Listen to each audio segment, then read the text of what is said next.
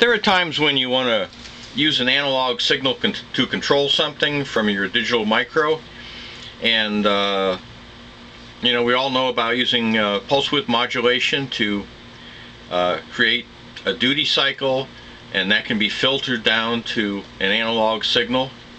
But uh, sometimes you need electrical isolation and also you need level shifting. Suppose you want to do uh, 0 to 10 volts. Now there's lots of ways you could do this but one of the simplest ways is with an opto isolator. It's cheap, it's simple, and uh, it works quite well. So here I have one of these, uh, it's a $5 signal generator uh, that simulates a microprocessor. Uh, if you can't read the display, I know I can barely read it. Uh, just before uh, I made this just before I was going to make this video uh, I had everything all working here. Wanted to neaten things up a little bit and I did some soldering and uh, some solder dropped on the board shorted out the display IC so it it still works you just can't read it.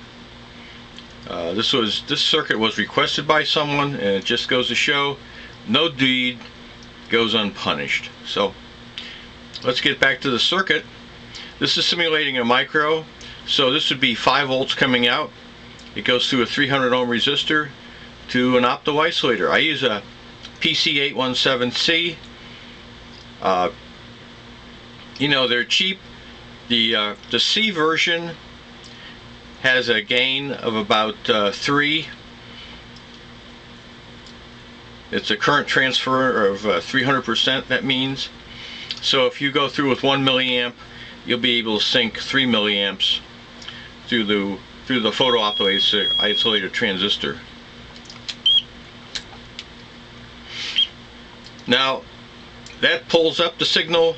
We have to pull down with this 750 ohm resistor and basically our timing is done through this uh, 15k resistor. I got uh, a couple resistors in series and we can adjust up the output level to whatever you need fine tune it with this pot.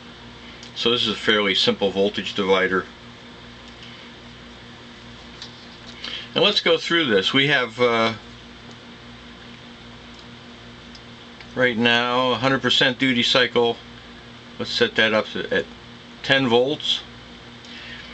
And we'll go down to uh,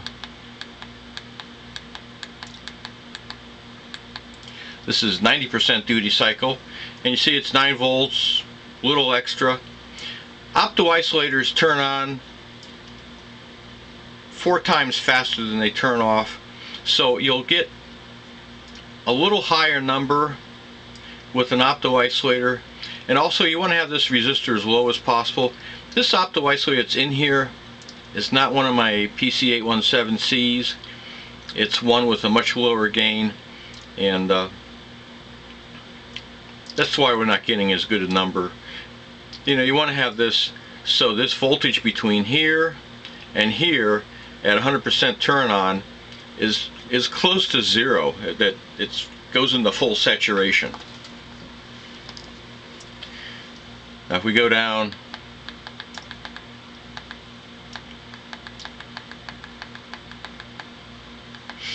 This is 75% and we've got we've got 7.59 volts all this is fairly close. You're not going to be doing anything really that critical.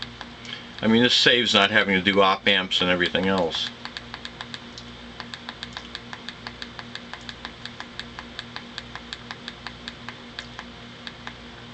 At 50%, it's uh, 5.11 volts.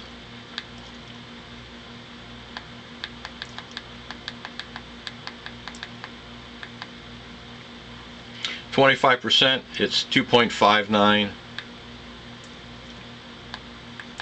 and at 10% it's uh, 1.053 you know fairly linear. Like I say if this resistor was lower uh, if this value was a little bit higher over here and uh, this opto isolator had a little more gain the numbers would be a little bit better. But you know, uh, if you got an old power supply somewhere, a wall wart, chances are it'll have one of these opto isolators in it. You can get them for free. Uh, those typically won't have a high gain, but you can still do this. Uh, I'm coming in with 12 volts here, and you know this resistor and this resistor load form a voltage divider. Whatever device you're going into is going to have some resistance to it. So a lot of these are kind of unknown. Basically you just can go in there, put a pot, and uh, come up with the value you actually need to drive with. Now here's the schematic for this. Again, you have the micro, you go through with a uh, 300 ohm resistor, 220, whatever you want to use.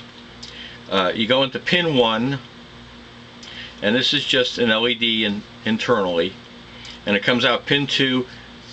This is your common. Now for the output, here's the opto isolator. The collector is pin 4. You put that to 12 volts, 10 volts, whatever voltage you have uh, available and that voltage can be common to this one or it can be totally isolated we have this 750 ohm pull down resistor. So basically uh, when you're this turns on it charges up this capacitor for a certain amount of time and then it turns off and it discharges. Well that average is what your voltage is going to be coming out. I use only like a 2 UF resistor that's fairly fast response. Again, you can make it anything you want, but uh, generally the, larger the capacitor, there'll be a, a time delay in change in settings. So it's best go as small as possible that you can tolerate so it's a fast response.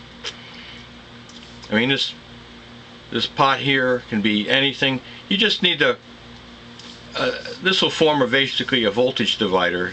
So we're coming up with 12 volts and we're coming out with about you know 10 and a half volts here so a little bit of adjustment is nice and uh, that can be just a little 10 turn trim pot or whatever and you get your 0 to 10 volts or you could do 0 to 25 uh, many times if you have a, a VFD motor controller that'll have a 25 volts available which can power this.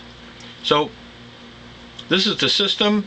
It's, uh, it's quite simple, quite useful, and I hope you found it interesting. Thanks for watching.